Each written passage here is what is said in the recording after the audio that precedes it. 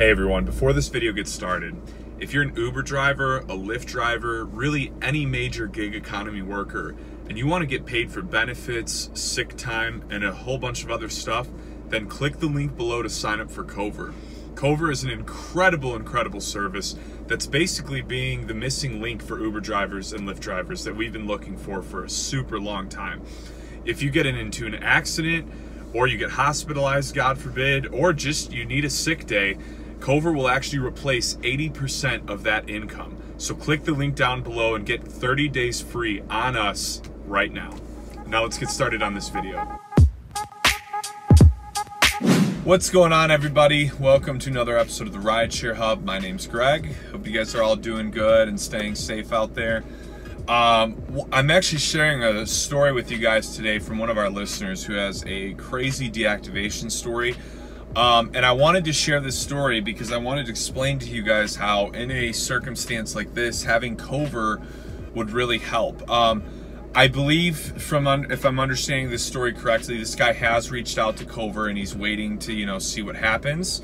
So, um, obviously, I'm sure they're going to take care of him, and we're really hoping for that. So, uh, you know, he is doing the right thing, but this this story is a really really good example of why you need cover. I don't want to like start telling you telling you yet, but he got deactivated after 13,000 trips, had a 4.97 rating. This dude's a freaking veteran. That's like twice as many rides I've given, so I'm guessing he's driven twice as long as I have. I've been active for four years. He's probably been active since 2012. So a lot of his issue has come with uh, Checkr and them not being like existent right now because of everything going on. And so he's had a lot of problems for whatever reason with Checkr. So let's dive right into the story.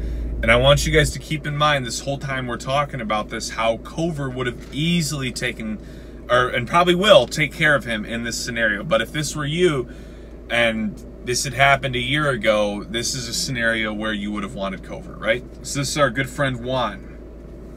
I was deactivated. 13,000 trips, 4.97 rating, and I got deactivated because of Checkr. They uh, closed down in April 2020 because of everything going on, which you can understand that. And in most cases, you would assume Uber would find some other way to have background checks done. Well, it's sounding like that's not the case.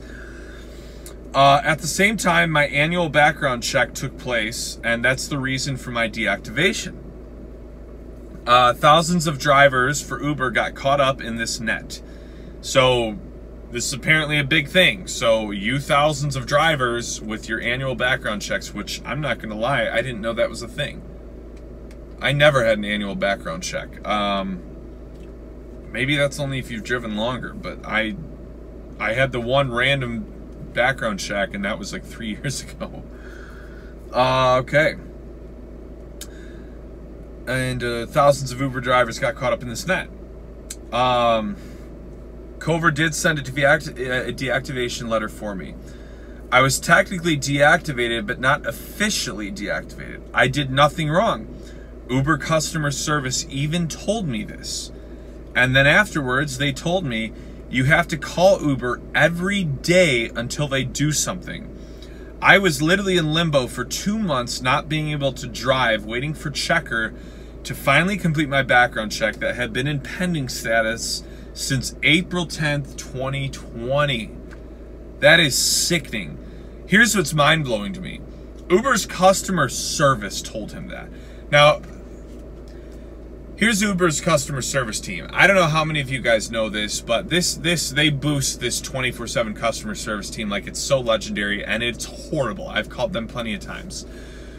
Uber customer service is an outsourced call center. Um, I can't remember where. I mean, I, I mean it's uh, it's not in the U.S. That's for sure. It's like India or somewhere really far away, and that's not a problem. What's a problem is these people, from what I've heard, get paid like nothing. They get paid like a few bucks an hour, and all they get is call scripts that basically say if somebody calls in and asks about this, say this.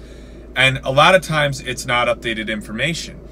Uh, there was one time I was calling about um, the referral program because we'd had drivers who were signing up with our referral code and they were completing the rides and not getting paid out. But at the same time, we had other drivers who were completing the rides and were getting paid out. So I was calling to try and deal with it.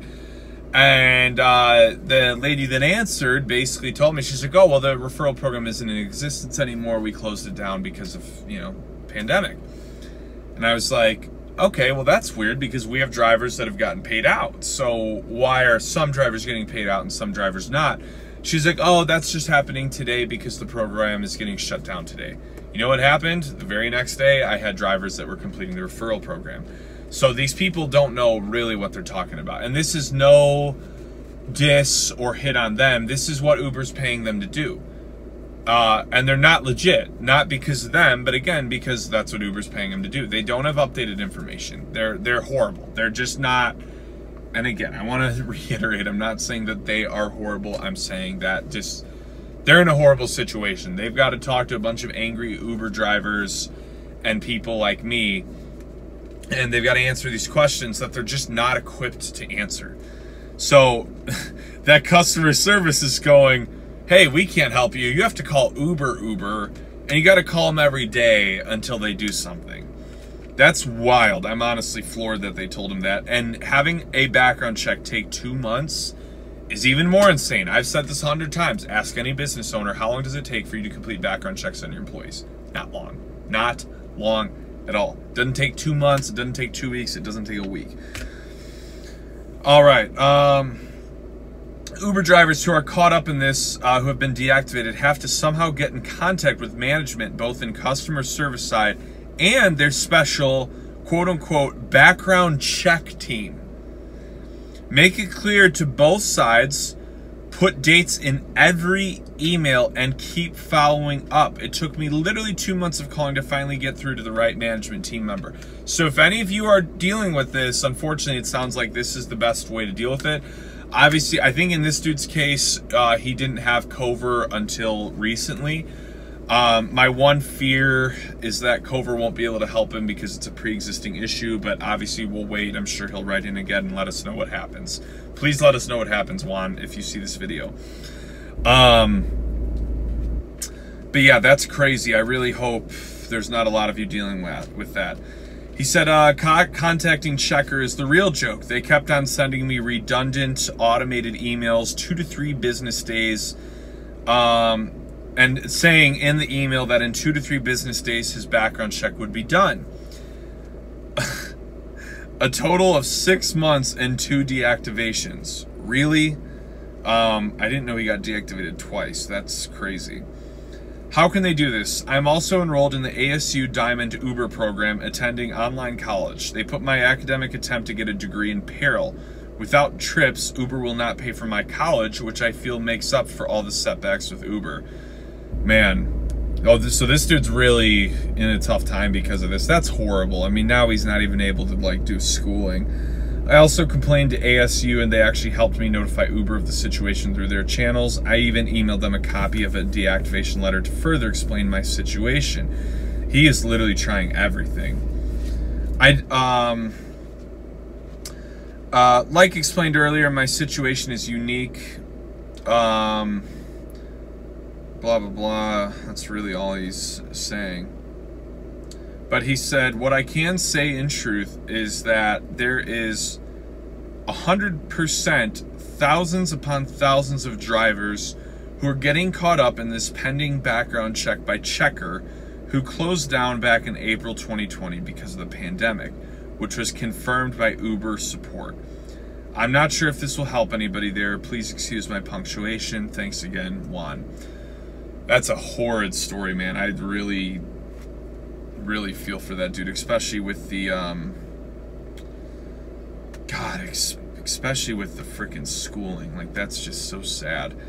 So I really hope a lot of you guys aren't dealing with that, but uh, this is a big reason why I think a lot of you guys should have Cover because in scenarios like this, you want to already be signed up with Cover. Like you want to already have their service. Um, it's it's again it's like i said in the one video a while back it's kind of like insurance you know it's kind of like your your insurance that there you are taken care of in scenarios like that so Juan, uh, we're rooting for you, man. I really hope that you can at least get some money back from this whole thing, hopefully through Cover. Um, I trust that if they're able to help you, you're in good hands, and let's just hope this isn't happening to too many drivers, but I agree with you, man. It's probably happening to thousands. So if there are a lot of you that this is happening to, those are unfortunately the steps you're going to have to take. If you do have Cover, get them on it ASAP. So I hope you guys enjoyed this video. Be sure to like and subscribe. Um, stay safe out there, and um, please check out Cover. Link in the description. First 30 days on us. That's what more can you ask for, right? All right, guys. I will talk to you all soon.